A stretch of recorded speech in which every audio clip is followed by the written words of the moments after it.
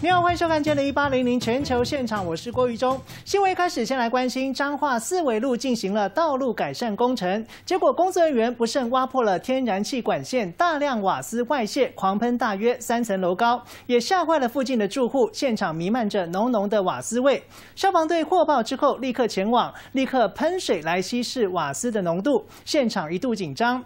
天然气公司也紧急派人来抢修，还好及时阻止，没有酿成人员伤亡。现场浓浓的瓦斯味，消防人员利用喷水降低稀释瓦斯浓度，大量瓦斯外泄，狂喷约三层楼高，现场还不断发出滋滋的声响，情况一度紧张。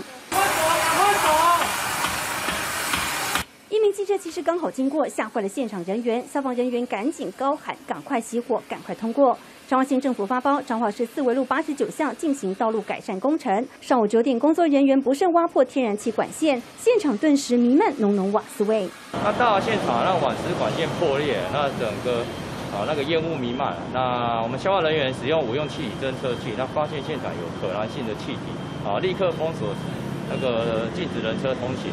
附近民众表示，当时闻到瓦斯味相当浓，差点就要夺门而出了，因为实在太吓人了。现场还出动挖土机把周边土石挖开，天然气公司人员以徒手方式止住天然气外泄，才化解危机。所幸没有酿成更大灾害，也没有人员伤亡。谢代荣茂，张浩报道。